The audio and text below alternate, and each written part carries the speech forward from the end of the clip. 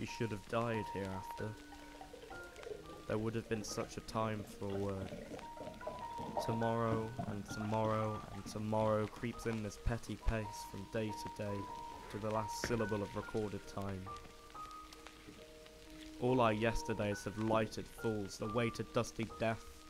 Out, out brief candle, life is but a walking shadow, a poor player that struts and frets his hour upon the stage and then is heard no more.